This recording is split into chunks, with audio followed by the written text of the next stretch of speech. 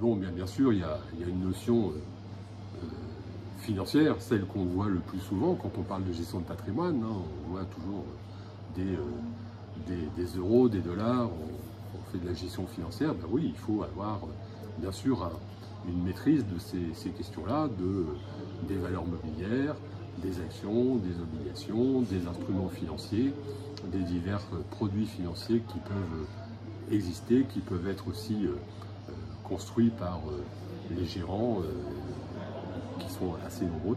Et donc ça, bien évidemment, c'est aussi un, élément de la gestion de patrimoine sur lequel il faut être, il faut être assez pointu.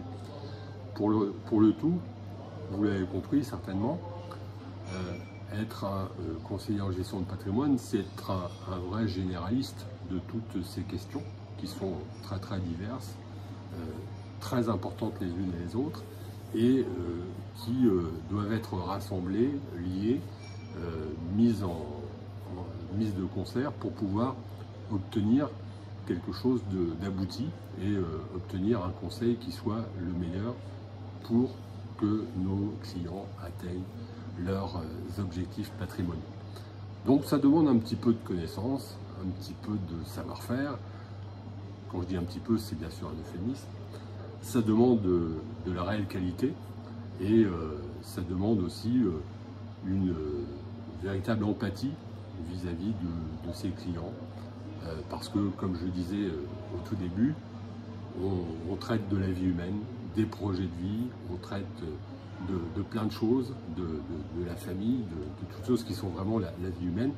Et donc ça demande vraiment de, s'intéresser à euh, nos interlocuteurs de façon sincère et attentive et de les accompagner dans le temps de façon euh, tout à fait euh, régulière et en essayant de, leur apporter le meilleur, le meilleur service. J'imagine que ce que je vous dis là est assez loin de l'idée qu'on se fait de prime abord, comme on peut le dire, de la fameuse gestion de patrimoine, mais c'est une, une réalité et c'est ce que je, vis euh, régulièrement euh, avec mes équipes, puisque je suis manager dans une société de, spécialisée en gestion de patrimoine, euh, avec une, équipe de conseillers en gestion de patrimoine qui apporte ce type de service à leurs clients et euh, pour le plus grand bonheur de ceux-ci. Alors, comment aller un peu plus loin et un peu plus dans le détail?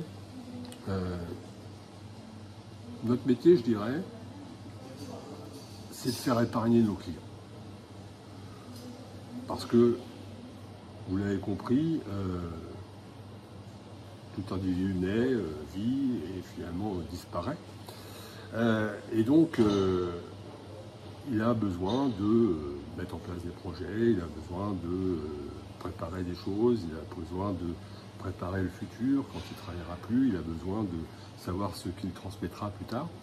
Et donc, euh, globalement, son patrimoine va être progressivement enrichi, va être abondé, va être finalement transmis. Et il y a des besoins auxquels il faut répondre tout au long de la vie. Et il faut répartir euh, les euh, ressources que l'on peut tirer notamment de son activité professionnelle pour pouvoir les utiliser euh, parfois de façon différée. La retraite est un très bel exemple. pour ne pas manquer de quoi que ce soit à des moments de la vie qui sont moins propices en apport de ressources et qui sont plus destinés à sortir des, flux. Donc c'est tout, tout, notre travail. Et donc, euh, tout au long de notre accompagnement, euh, notre rôle, c'est de faire épargner, mettre de côté euh, des sommes d'argent pour pouvoir justement préparer les objectifs futurs et pouvoir disposer des ressources suffisantes pour justement répondre aux, besoins futurs de, nos clients. Alors, épargner, il y a deux façons d'épargner. La première, c'est tout simple. Hein. Vous prenez une petite somme d'argent tous les mois, puis vous la, mettez sur un, compte financier. Et donc, euh, au fur et à mesure, euh, le, tas euh, s'agrandit pour faire gros. Et puis, si vous avez un, conseiller qui a un très beau très une très belle approche des aspects financiers, vous aurez aussi de la valorisation due à l'augmentation des marchés financiers ou à d'autres origines de plus-value. Ça, c'est une première façon qui est assez simple, qui nécessite juste d'avoir l'astreinte de mettre de l'argent de côté, mais qui finalement n'est pas toujours la plus efficace. Et il y a une autre façon d'épargner qui est une façon d'épargner à l'envers, c'est-à-dire que le capital, on ne va pas le constituer juste à la fin, on va commencer par mettre le capital dans son patrimoine, hein, chose qui n'arrive qu'en fin de course dans la première solution. Et on va profiter immédiatement de ce capital pour en tirer des revenus qui vont nous aider épargner et euh, pour en tirer également des plus-values. Cette façon d'épargner euh, différente, c'est simplement euh, le recours au crédit. Et qui dit recours au crédit dit forcément investissement immobilier. L'investissement immobilier, c'est vraiment ce qui fait la différence entre un conseiller en gestion de patrimoine et un conseiller financier. Puisque cette façon d'épargner est beaucoup plus efficace que la première solution que je vous ai euh, exprimée, puisque on va avoir trois effets de levier. Le premier, c'est un effet de levier financier. Comme on le disait précédemment, on met tout de suite un capital qui ne nous appartient pas dans notre patrimoine et on en tire des revenus par un locataire. On tire également des plus-values puisqu'il y a une valorisation du bien. Donc euh, forcément, on a euh, cet effet de levier qui fait qu'on euh, profite tout de suite de la valorisation et des revenus du, patrimoine, donc qui nous aide à épargner.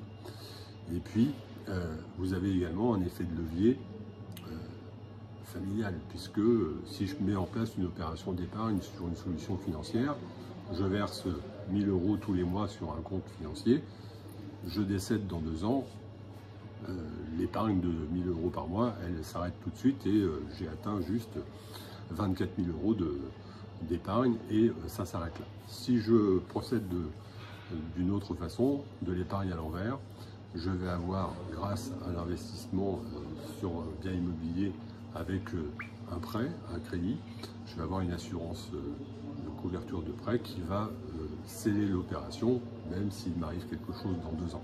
C'est-à-dire que si, j'arrive si je viens à disparaître dans deux ans, l'assurance va couvrir l'intégralité du prêt, le bien sera définitivement dans le patrimoine transmis et ma famille pourra disposer du capital et des revenus de ce bien immédiatement.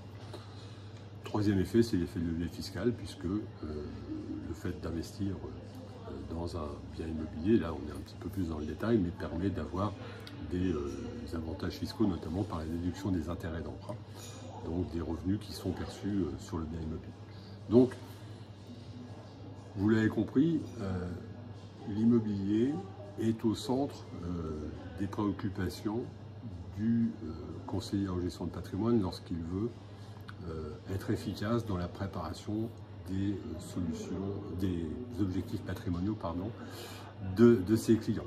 Et si euh, vous voulez avancer euh, sereinement euh, dans la préparation d'un patrimoine protecteur, in fine, j'aime beaucoup la notion de protection parce qu'on est vraiment des, spécialistes de la sécurité, eh bien, effectivement, il faut utiliser cet effet de levier du crédit immobilier et donc de l'investissement immobilier. Voilà, je ne veux pas être trop long sur cette présentation euh, du métier que je voulais euh, assez rapide et, la plus claire possible. J'espère qu'il en a été, euh, ça a été le cas. S'il y avait quelque chose à retenir de, cette petite vidéo, c'est de se dire que un conseiller en gestion de patrimoine, c'est quelqu'un qui va s'intéresser vraiment à vous, à votre vie, à vos projets, à vos objectifs, et qui va ne parler que de ça, en tout cas bien avant de vous parler de placement et d'investissement financier meilleurs les uns que les autres. Donc, si vous voulez avoir un bon conseiller en gestion de patrimoine, faites le test, voyez de quoi il vous parle et vous saurez si vous avez quelqu'un de, compétent et d'intéressant vis-à-vis. Je remercie Laurent pour cette invitation. J'espère pouvoir partager des belles idées avec vous.